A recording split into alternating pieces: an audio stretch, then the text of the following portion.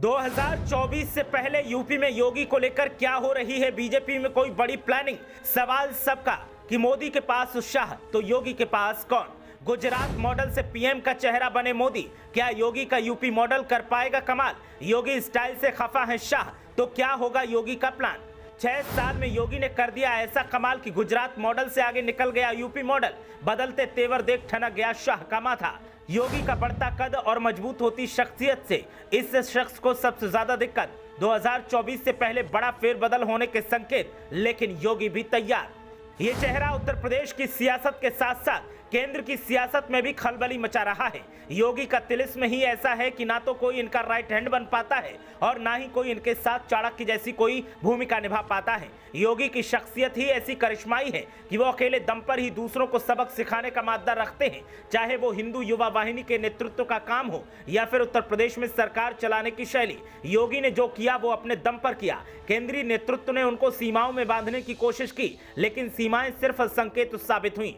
योगी के सामने आए तो कई, लेकिन टिक एक भी नहीं पाया। उससे भी गजब यह है कि अब योगी की करिश्माई छवि उन्हीं की पार्टी में कईयों को खटक रही है। बीजेपी की खासियत यह है कि जिसने काम किया, उसी को मौका मिला।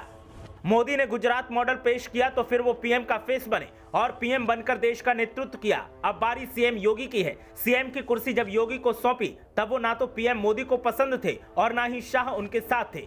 लेकिन आरएसएस ने उनका साथ दिया और फिर शाह मोदी को भी साथ आना पड़ा। योगी ने यूपी में सियासत का ऐसा मॉडल पेश किया कि गुजरात मॉडल पीछे छूट गया और गुजरात मॉडल पीछे छूटा तो उनका कद भी मज़बूत हो गया। दावा किया जा रहा है कि योगी का स्टाइल ऐसा है कि वो 2024 में तो नहीं, लेकिन 2029 में पीएम पद के प्रबल दावेदार बने। और यही वजह है कि अब वो जिनकी आँखों में खटक रहे हैं, वो कोई बड़ा उलटफेर कर सकते हैं। लेकिन सीएम योगी के खिलाफ उलटफेर करने की जितनी बार कोशिश हुई, उतनी ही बार ऐसे मंसूबे वालों को मुँह की खानी पड़ी। बात यह भी है कि योगी के बाद यूपी में नंबर दो कौन? तो चेहरे कई सामने आते हैं, लेकिन रुतबा किसी का भी नहीं दिखता। चाहे वो केशव प्रसाद मौर्य हो, या फिर दिनेश शर्मा, या फिर ब्रजेश पाठक और आईएएस अधिकारी रहे, अरविंद शर्मा हो।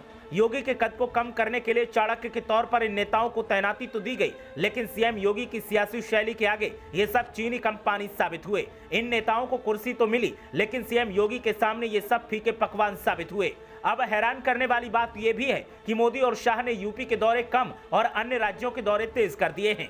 कर्नाटक में ये नेता पसीना बहा रहे हैं, लेकिन यूपी नहीं गए। और यूपी में सीएम योगी अकेले दम पर विरोधियों को छका रहे हैं। हालाँकि सवाल तब भी पूछे जा रहे हैं। गजब बात तो ये है कि 2017 में यूपी चुनाव मोदी के चेहरे पर लड़ा गया और सीएम योगी बने। 2022 का विधानसभा चुनाव योगी के चेहरे पर हुआ और पीएम मोदी ने योगी का हाथ थाम, डबल इंजन की सरकार बनाने की मांग की। योगी और मोदी की वर्किंग स्टाइल एकदम समान है, बस उम्र का अंतर है। मोदी जब सीएम बने, तब उनकी उम्र इक्यावन साल थी। और जब योगी पहली बार सीएम बने, तब उनकी उम्र मात्र 45 साल थी। दोनों ही नेताओं की उम्र के फासले में अंतर ज़रूर है, लेकिन उम्र के साथ ही सियासी तजुर्बा और काम करने का अंतर बेहद अलग है। मोदी के हर काम के चाणक्य शाह रहे हैं। लेकिन योगी ने अकेले दम पर हर सफलता हासिल की है और यही सफलता अब कईयों की आँखों में चुभ रही है। लोकप्रियता के मामले में भी योगी पीएम मोदी से करीब छह साल आगे हैं। ऐसे में मोदी के बाद कौन के सवाल के जवाब में लोग विकल्प के तौर पर योगी को देखते हैं और योगी ने उत्तर प्रदेश में जो अभियान छेड़ा है, उसने तो तमाम सरकारों के मॉडल्स को भी फेल कर दिया है। फिर चाहे वो गुजरात मॉडल हो या फिर केंद्र की सरकार के विकास की दलील हो। उत्तर प्रदेश का कद केंद्र में जहाँ बड़ा है तो वहीं सीएम योगी की बढ़ती लोकप्रियता भी कईयों के लिए चुनौती है। शाह को लोग मोदी के उत्तराधिकारी के तौर पर देख रहे हैं, लेकिन सीएम योगी को लोग प्रबल दावेदार मान रहे हैं।